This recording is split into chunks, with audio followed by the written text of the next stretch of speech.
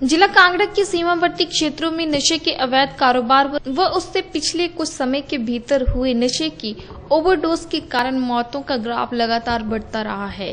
ये देखने में आया है कि नशे के प्रयोग के लिए युवा अब इंसुलिन सिरिंज का प्रयोग भारी मात्रा में कर रहे हैं। इसी को देखते हुए जिला ड्रग कंट्रोल विभाग हरकत में आ गया है और विभाग ने इंसुलिन सिरिंज बेचने पर प्रतिबंध लगा दिया है। इस सिरिंज को अब पर्ची पर डॉक्टर की अनुमति के बाद ही बेचा जा सकेगा। ड्रग कंट्रोल विभाग कांगड़ा के अतिरिक्त ड्रग कंट्रोलर आशीष रैना ने इस संदर्भ में सर्कुलर जारी कर जिला के सभी दवा विक्रेताओं को निर्देश जारी कर दिए हैं। उन्होंने जारी आदेशों में कहा कि पंजाब में बिना पर्ची के इंसुलिन सिरिंज न बेचे जाने के चलते कांगड़ा के सीमावर्ती क्षेत्रों में इंसुलिन सिरिंज की बिक्री में एक भारी बढ़ोतरी हुई है। इसी के चलते ड्रग कंट्रोल विभाग ने ये कदम उठाया है। उन्होंने कहा कि सीमावर्ती क्षेत्रों में यूज़ की हुई भारी मात्रा में ये सिरिंजें देखी गई हैं, जिसका प्रयोग संभवतः नशे के तौर पर लिए जाने वाले चिट्टे को पानी में घोलकर शरीर में इंजेक्शन के तौर पर देखा जा रहा है।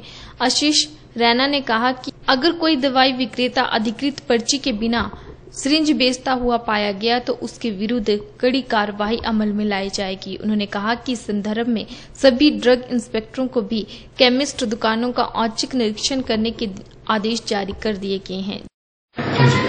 जी। देखने में आ रहा है कि पंजाब से सटे क्षेत्रों में नशे का प्रकोप बढ़ रहा है और नशे के लिए इंसुलिन सिरिंजों का प्रयोग किया जा रहा है।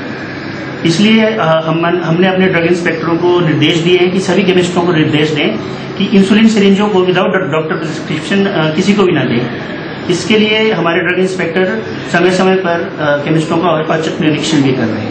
जिला कांगड़ा केमिस्ट संघ के अध्यक्ष राजेश शर्मा ने कहा कि इंसुलिन सरिंस को पर्ची परिना डॉक्टर की अनुमति के न बेचने के बारे में विभाग से आदेश प्राप्त हुए हैं। उन्होंने कहा कि ये नशे के खिलाफ छेड़ी गई मुहिम में विभाग की सराहनीय पहल है। जी ऐसा है हमें अभी कुछ दिन पहले जो विभाग हमारे विभाग है ड्रग अथॉरिटी उनसे ये आदेश मिले हैं कि आप जो भी इंसुलिन की सिरिंजेज हैं वो बिना प्रिस्क्रिप्शन के आ, किसी भी आ, कस्टमर को ना दें।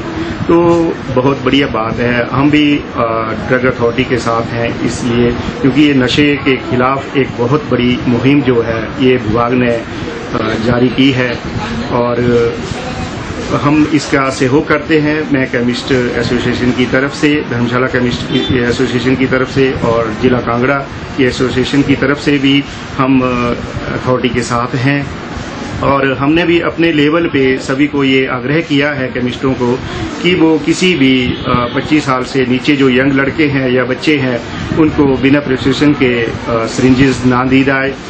और हमारा एक ये भी कहना है केमिस्ट भाइयों का कि फ्यूचर में इससे संबंधित जो है वो डॉक्टर को निर्देश दिए जाएँ ताकि जो भी इंसुलिन की प्रिस्क्रिप्शन डॉक्टर लिखते हैं, उसके साथ ही इंसुलिन की सिरिंजेस भी लिखी जाए ताकि किसी भी मरीज़ को अथाह इसकी जो कमी ना आए और ये इंसुलिन एक बहुत इमरजेंसी ड्रग्स है जिसकी इंसुलिन बढ़ जाती है तो समय समय पर इंसुलिन का इंजेक्शन लेना पड़ता है और उनको सिरिंजेस की ज़रूरत पड़ती है।